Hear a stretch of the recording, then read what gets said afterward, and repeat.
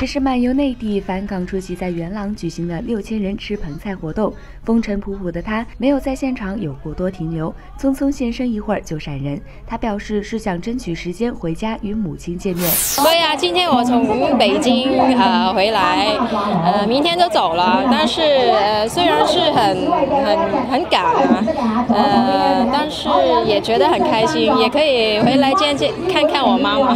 我明天就回去横店拍继续。拍《剑园风云》，呃，应该拍到三月中吧，所以一直拍拍剧咯。过年应该也是在内地。佘诗曼与陈豪、林保怡合拍的电视剧《天与地》意外成为城中热话，但该剧的大结局却率先在视频网站非法率先曝光，打乱 TVB 的收视计划。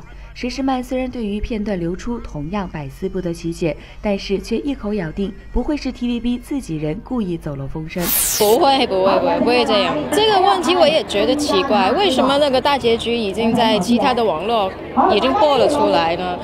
呃，这个应该。是 TVB 保密的东西来的，我也觉得奇怪，他们应该会去查一下吧。早前佘诗曼被传与旧爱郑嘉颖复合，事后郑嘉颖四处辟谣，表示两人只是好朋友。而今年郑嘉颖的人气和收入可谓进入了她入行以来的巅峰时期。由于正值大红大紫，郑嘉颖宣布会在未来重返乐坛，重拾她入行时的本职工作。眼看旧爱发展一切顺利，佘诗曼却好像故意对对方置若罔闻，连被问到会否有机会再组情侣档合唱新歌时，佘诗曼都不住地说不。不不不不不，我不太喜欢唱歌。我有听过他唱歌，他以前有唱过主题曲的嘛。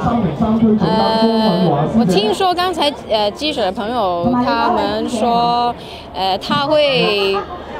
签什么出出唱片啊？那我恭喜他，希望他可以大卖。爱奇艺香港报道。